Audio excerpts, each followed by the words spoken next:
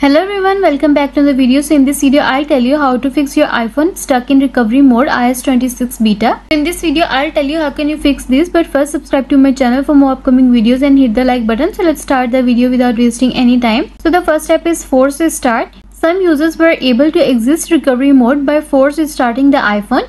For this you just need to quickly press and release volume up button and then quickly press and release volume down button and hold the side button until the Apple logo appears.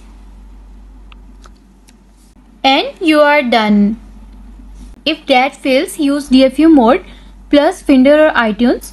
The most reliable to fix has been putting the iPhone into DFU mode and restoring it to the iOS 18.5 using iTunes or Finder. So I'm gonna tell you how to fix iOS 26 stuck on recovery mode by entering DFU mode step by step. First, connect your iPhone to a computer and quickly press the volume up button and then volume down button and hold the side button until the screen goes black. While still holding the side button, press and hold the volume down button for 5 seconds. Release the side button but keep holding the volume down button for another 10 seconds.